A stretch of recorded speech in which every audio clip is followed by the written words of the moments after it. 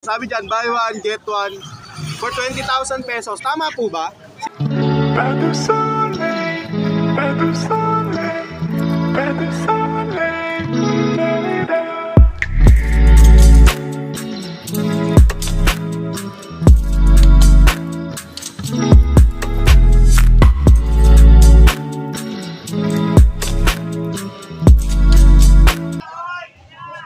What's up sa inyo mga men? So, nandito tayo ngayon sa Grotto Church para magikot-ikot at magtingin-tingin ng mga available animal pets na meron dito ngayon. Tagal-tagal din tayong ah, hindi nalibot dito kasi simula nung natigil ako sa pagtitinda dito sa Grotto, actually dun sa tapat lang ng pinagparking ako na to, hindi na ako ulit ah, nakabisita dito o nakapag-ikot-ikot. No? So, ngayon mga men, ililibot ko kayo. Tingnan natin kung anong mga meron ditong animal pets. So, tara mga men, samahan nyo ako. Grotto Gaming tayo ngayong umaga.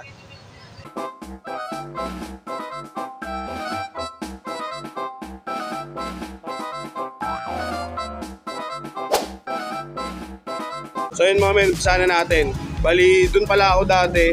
Nagtitinda ng hamsters nung nagpupwesto pa ako dito sa grotto, no? So tayo tayo. Tingnan natin kung paano na sistema ng kalakaran dito. Nung nagbebenta kasi ako, walang bayad yung pwesto. So ayan, dyan ako dati nagbebenta. Ayun, wala nang gano'ng nagtitinda.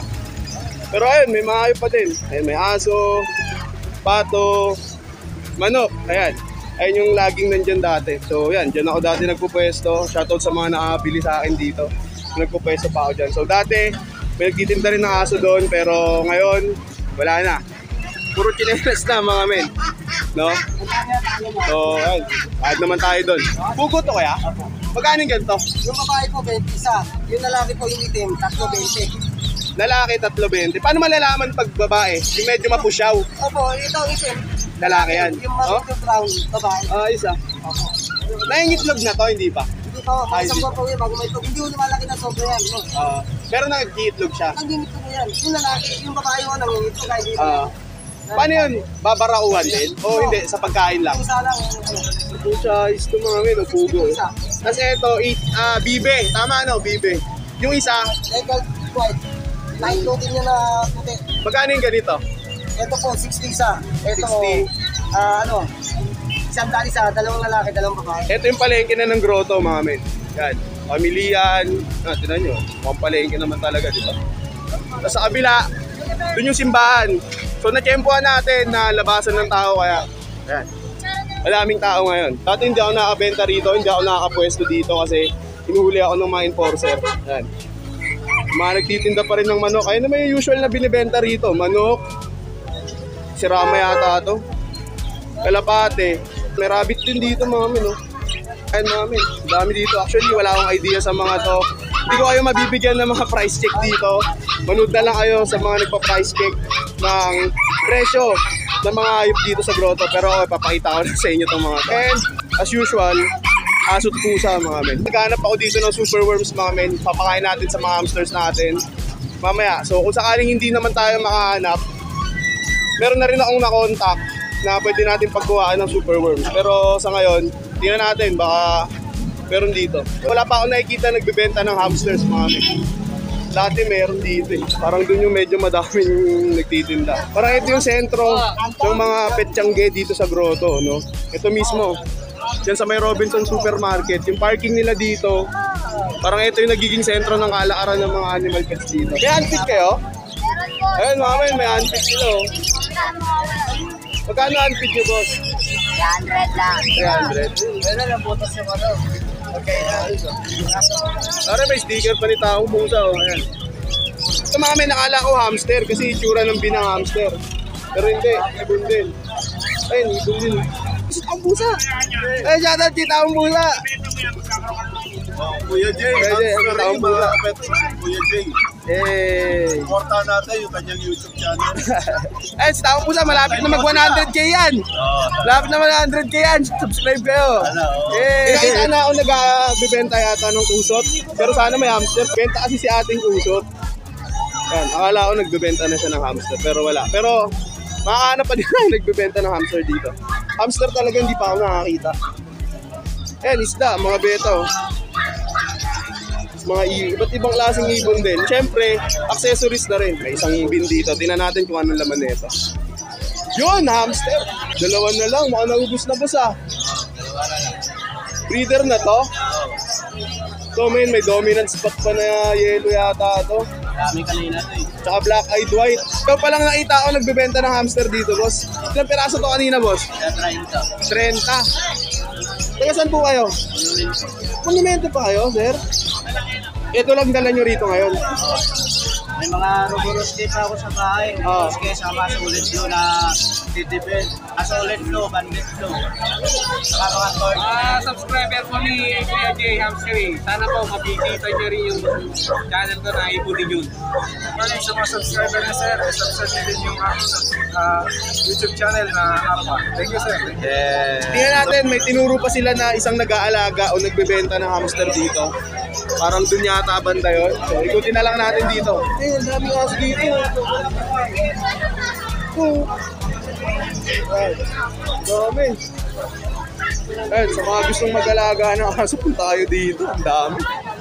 Kayo na bahala makipag-negotiate sa kanila. Hmm. Ibon. Actually, ang madami talaga ngayon, aso, normal na yan. Pusa, normal na yan. Ibon, ayan. Pansin ko, ang daming ibon dito ngayon. Yun, may nakita na ako. To, to, to, to. Ah, si Boss Joe. Ay, mga dala niya ngayon. Hedgehog. Hedgehog. Hamster. Hedgehog. Rabbit at saka, ano boss? Peruvian. Peruvian guinea pig. Yan, ayun yung mga dala niya ngayon dito. Yan, si Boss Joe, ayun yung uh, tropa din natin na nag-aalaga ng hamster. Check nyo din dito, may mga nagbibenta rin ng mga sap- sapatos dito. Eh. Ayun, no? Kasi kaya bumili siya ng aso dito eh. Tingnan natin kung ano nabili niyang aso. Asan na to? Ah, Dutch Hound. Magkano po kuha niyo dyan? Guys, 6K mga men. Ano pong pangalan niyo, sir? Jerry, Jerry. Jerry. Taga saan po kayo? North Caloocan. Ah, eh, si Sir Jerry. Taga North Caloocan. And shoutout daw sa mga kamag-anak niya sa Cavite. Tangsa. Tansa, yeah. Thank you.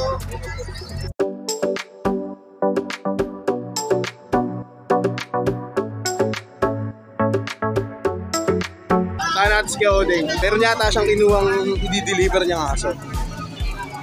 Kuya Odeng, magandang umaga. Ngayon na lang ulit ako nakabisita. Eh, si Kuya Odeng, mamin. Ngayon na lang ulit natin siya nakasama, nakita dito sa grotto. Wala kayo nung kasama kami lang kayo dun. Ayan. Ayan. Kuya J. Hamstery. Ayaw nga pala. Kailan kita nakita ulit. Oo. Tagal ka, tagal. Salamat pala Kuya Jay dun sa binigay mo na ano na hams na hamster doon na binigay natin sa tropa sa Pampanga. Yeah. Yeah. tuwa sila, ang dami na daw ngayon, may 50 na. Wow. Tinan niyo mamin, yung hamster natin napadpad ng Pampanga. Tama ka, Odeng? Mora Pampanga. Na-ride natin si Kuya Odeng. Kasi nakita ko siya kanina habang nagta-timelapse ako. Sabi ko si Kuya Odeng yun ah. At sabi ko nga, baka meron siyang i-deliver na naman. Kasi lagi ko siyang napapanood. Nagdi-deliver eh. Talagang na-inspired ako sa grind nito eh. Kaya ayan, tama nga tayo. Meron siya mamayang i-deliver. Anong? Belgian. Ah, Belgian Malin mo to. Lalagay mga- natin sa pinangon ng Rizal. Ah, Binangonan. Mamaya, deliver ka na. Kanina, habang nandun ako sa tabi ni Kuya Odeng, nagulat ako, sabi ko, ano ba itong nakadapa dito? Ang lapad, ang laki niyo. Lawan, parang ba, parang big, eh, oh. Laki. Ayun mga men. Tinanong ko si Kuya kung binibenta, hindi daw. Open lang siya for stud na sir. Tama po, no? Ayan, sa mga gusto magpa-stud ng ganito kalaking aso kay Kuya, ayan. Ayan. Ano pong cellphone number nyo kaya? Ah, 0920-239-9989. Ayan. Ayan, kontakin niyo si Kuya dyan. Mga men, may nakita pa akong isang nag bibenta yata ng hamster si Kuya. Ay, si Kuya, ito lang hamster. Oh. Nakamuka.